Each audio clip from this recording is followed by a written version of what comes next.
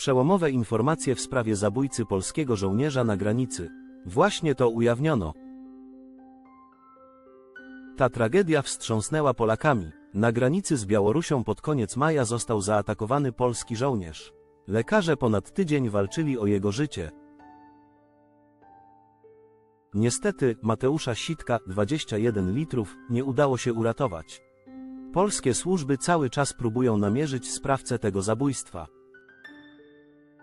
Teraz podano nowe ustalenia. To daje nadzieję na to, że nie uniknie on kary. Do ataku na polskiego żołnierza doszło 28 maja w okolicach Dubicz Cerkiewnych, województwo podlaskie.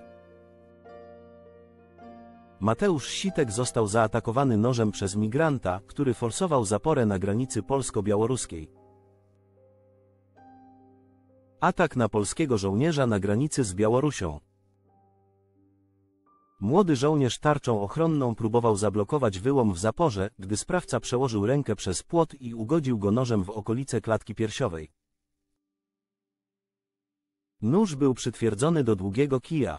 Jego ostrze utkwiło w ciele młodego żołnierza.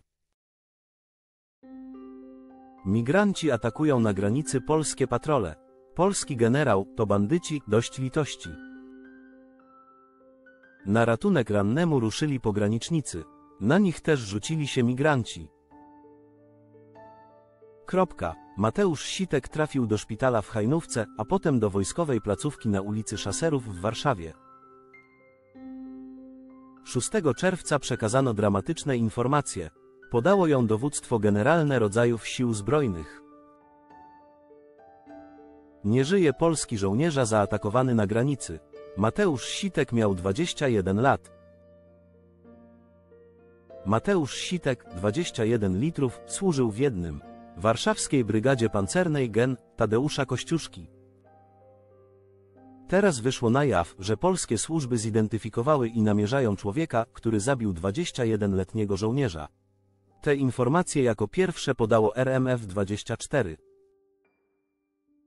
Przełomowe informacje w sprawie zabójcy polskiego żołnierza na granicy. Jak ustalono, napastnik to osoba z Bliskiego Wschodu.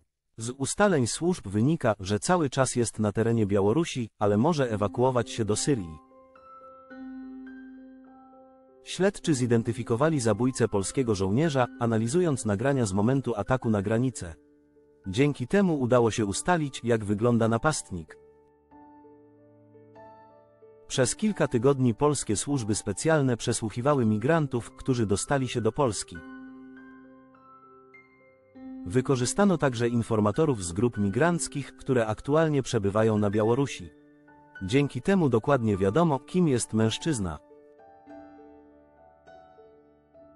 Polska już na początku czerwca oficjalnie poprosiła Mińsk o pomoc w zidentyfikowaniu i o aresztowanie osoby, która zabiła żołnierza. Urzędnicy Aleksandra Łukaszenki zignorowali tę prośbę. Możliwe, że po ujawnieniu informacji o zidentyfikowaniu go, napastnik ucieknie z Białorusi do Syrii albo innego kraju Bliskiego Wschodu. Pojmanie go tam przez polskie służby, a później postawienie przed sądem paradoksalnie może być łatwiejsze.